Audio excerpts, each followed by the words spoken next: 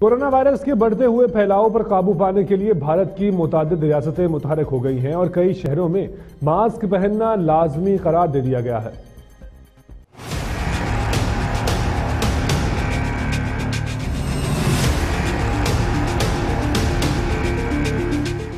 بھارتی حکومت نے دارالحکومت نئی دہلی اور ممبئی سمیت بھارت کے سوا ارب سے زائد افراد کے لیے ماسک کا استعمال لازمی قرار دے دیا ہے۔ دارالحکومت نئی دہلی، مالیاتی مرکز ممبئی اور سب سے زیادہ بیس کروڑ آبادی والی ریاست اتر پردیش میں ہر شہری کو عوامی مقامات پر ماسک لگانا ضروری ہوگا۔